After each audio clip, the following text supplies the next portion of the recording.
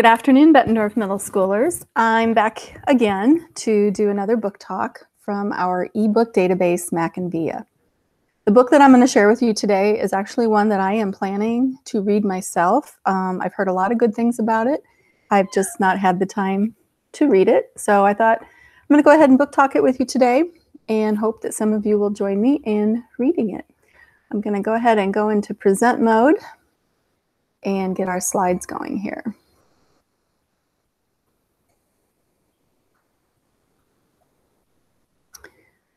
Okay, today is Monday, April 27th. Um, I hope everybody is doing well as the school shutdown continues. The book that I'm sharing today is a World War II historical fiction. It's by Kimberly Brubaker Bradley, and it's called The War That Saved My Life. The main character is a 10 year old girl named Ada, and she lives in London during World War II. Ada is not treated very well by her mother, and much of this is due to the fact that Ada has something called a club foot.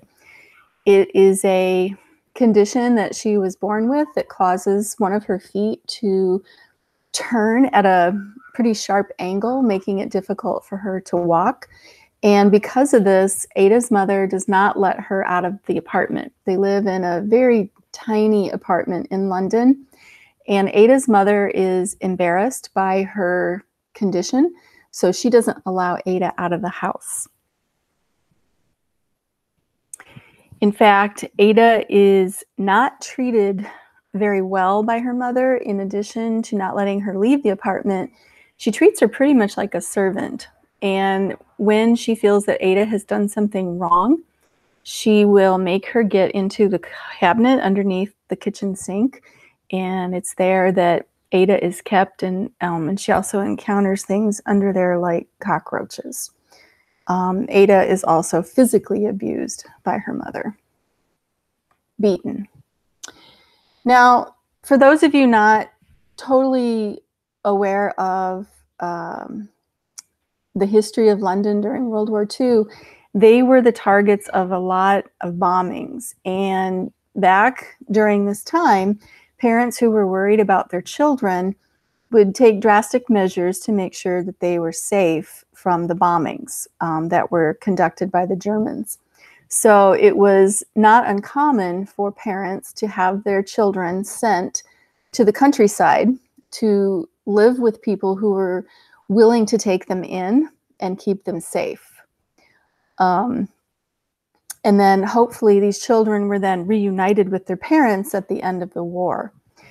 And Ada's mother wants to send her younger brother Jamie to the countryside to keep him safe.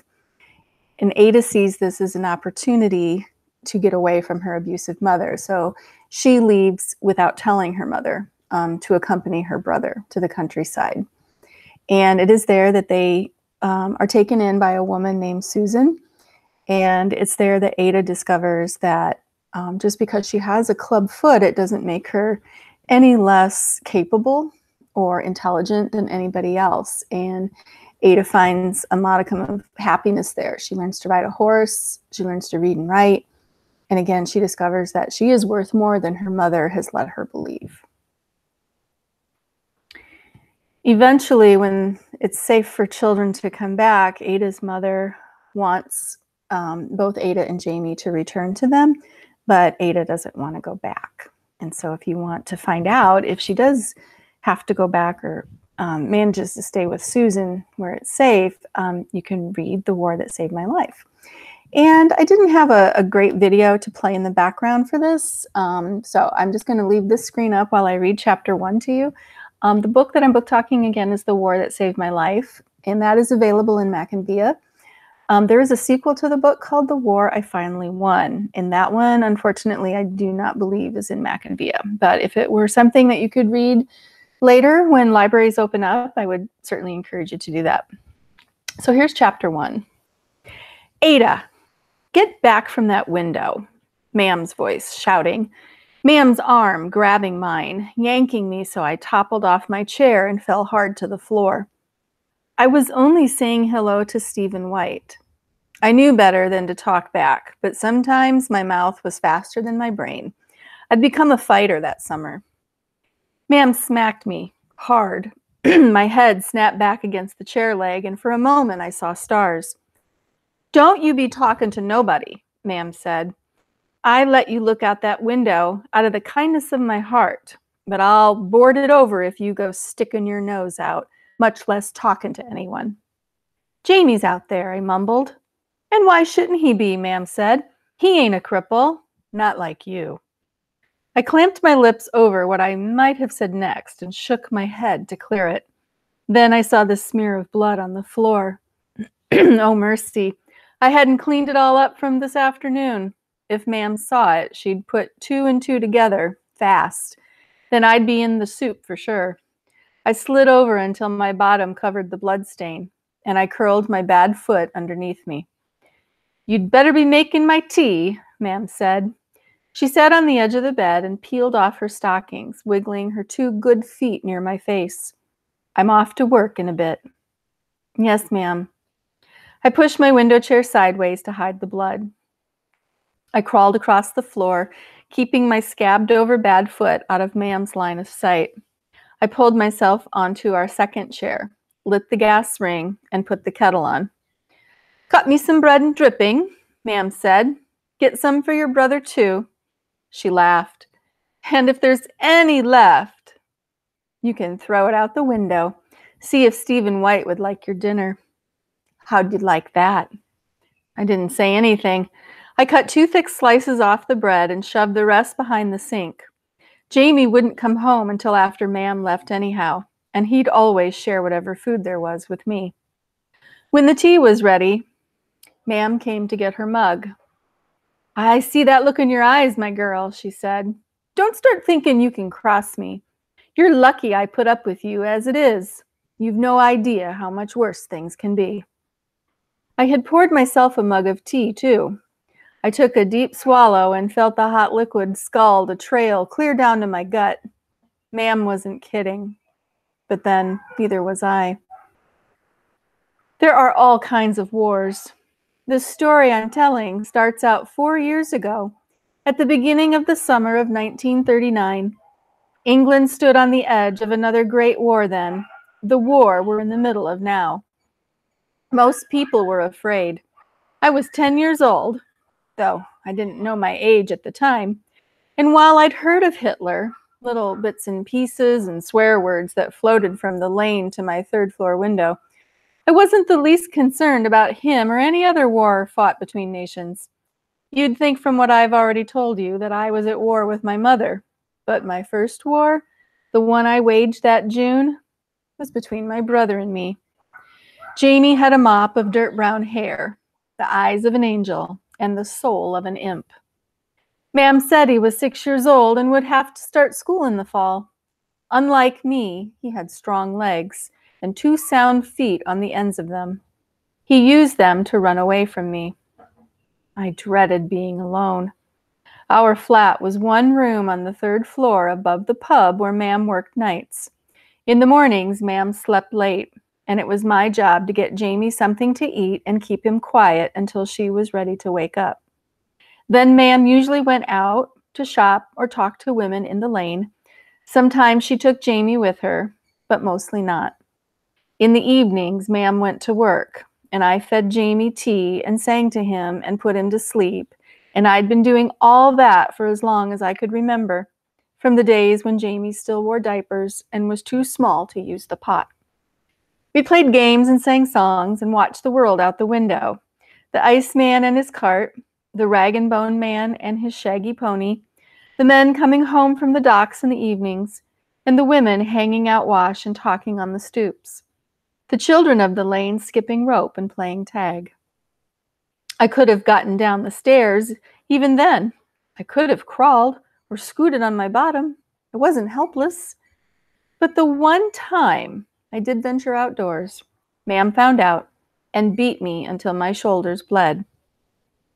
You're nothing but a disgrace, she screamed. A monster with that ugly foot. You think I want the world seeing my shame? She threatened to board over my window if I went downstairs again. That was always her threat to me. My right foot was small and twisted so that the bottom pointed skyward, all the toes in the air, and what should have been the top touched the ground. The ankle didn't work right, of course, and it hurt whenever I put weight on it. So for most of my life, I never did. I was good at crawling. I didn't protest staying in one room so long as it held both Jamie and me.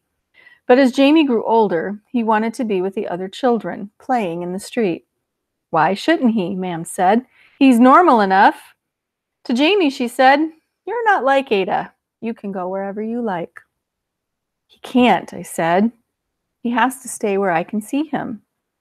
At first, he did, but then he made friends with a gang of boys and went running out of sight all day. He came home with stories about the docks on the river were big ships and loaded cargo from around the world. He told me about trains and warehouses bigger than our whole block of flats. He'd seen St. Mary's, the church by whose bells I marked time. As the summer days grew longer, he stayed out later and later until he came home hours after Mam left. He was gone all the time, and Mam didn't care. My room was a prison. I could hardly bear the heat and the quiet and the emptiness. I tried everything to make Jamie stay. I barred the door so he couldn't get out, but he was already stronger than me. I begged and pleaded with Mam. I threatened Jamie, and then one hot day, I tied his hands and feet while he was sleeping. I would make him stay with me. Jamie woke up. He didn't scream or shout. He thrashed once, and then he lay helpless, looking at me. Tears slid down his cheeks. I untied him as quickly as I could. I felt like a monster.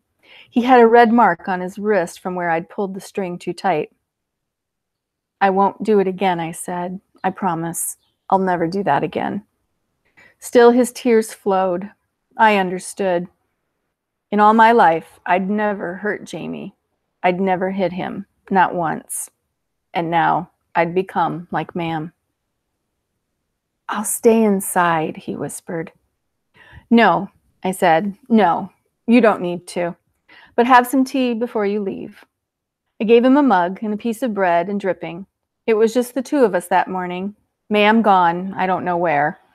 I patted Jamie's head and kissed the top of it and sang him a song and did all I could to make him smile. Pretty soon you'll be going to school anyhow, I said, astonished that I hadn't fully realized this before. You'll be gone all day then, but I'll be okay. I'm going to fix things, so I'll be okay. I coaxed him into going out to play, and I waved to him from the window. Then I did what I should have done to start with. I taught myself to walk. If I could walk, maybe Mam wouldn't be so ashamed of me. Maybe we could disguise my crippled foot. Maybe I could leave the room and stay with Jamie, or at least go to him if he needed me.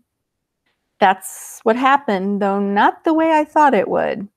In the end, it was the combination of the two the end of my little war against Jamie and the start of the big war, Hitler's war, that set me free. And that's chapter one. If you haven't watched my videos before, um, if you go to the library Symbaloo, one of the tiles has a link to um, my virtual book talks that I've been doing during the school shutdown. Uh, the link or the tile next to that is the Mackinvia login. And just a reminder, it is your six digit username and your six digit computer password without the BCS. Once logged into Mackinvia, click groups along the left hand side. And the first list that comes up is Mrs. Temperly's virtual book talks. And again, if you have not watched any of my um, virtual book talks, there's a Mackinvia app that is iOS and Android friendly. Um, it's a free download, and you just need to put in your six digit username and your six digit password without the BCS to use the app. Again, I hope everybody is doing well, and I hope that you do find some time to read. Um, keep your reading skills sharp and hopefully uh, get a chance to see you guys again real soon. Thanks for watching.